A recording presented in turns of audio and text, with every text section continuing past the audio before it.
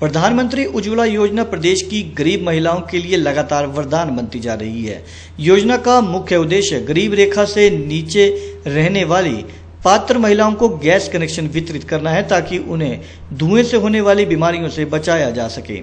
इसी कड़ी में प्रदेश भाजपा के सचिव रतन सिंह पाल ने सोलन जिला के दवेरा पंचायत की करीब तीन दर्जन गरीब पात्र महिलाओं को योजना के तहत गैस कनेक्शन वितरित किए। रतन सिंह पाल ने कहा कि केंद्र की मोदी सरकार ने हर वर्ग के लिए कल्याणकारी योजनाएँ शुरू की हैं, जिनमें प्रधानमंत्री उज्ज्वला योजना, ग्रामीण तबके की गरीब महिलाओं के लिए संजीवनी साबित हो रही है। उन्होंने कहा कि इस योजना की लाभार्थी महिलाओं को जहाँ अब धुएँ से होने वाली बीमारियों से निजात मिलेगी, वहीं समय बचत के साथ पर्यावरण संरक्षण भी होगा।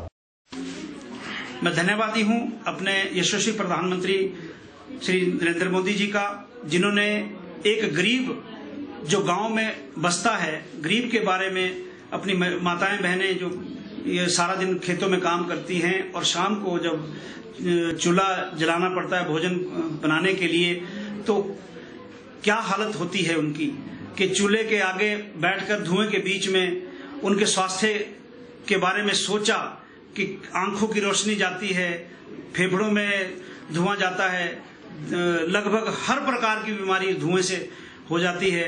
आदरणीय प्रधानमंत्री जी ने उज्ज्वला योजना एक चलाकर हमारे देश में जो आठ करोड़ लोगों के लिए उज्ज्वला योजना का लाभ पहुँचाने का काम किया है और इसमें लगभग पाँच करोड़ के करीब पहुँच चुके हैं और अभी आने वाले दिनों में आठ करोड़ का लक्ष्य रखा है। और इसी के तहत अर्की विधानसभा क्षेत्र में आज अपना देवरा पंचायत में लगभग तीस लोगों को ये दिया गया।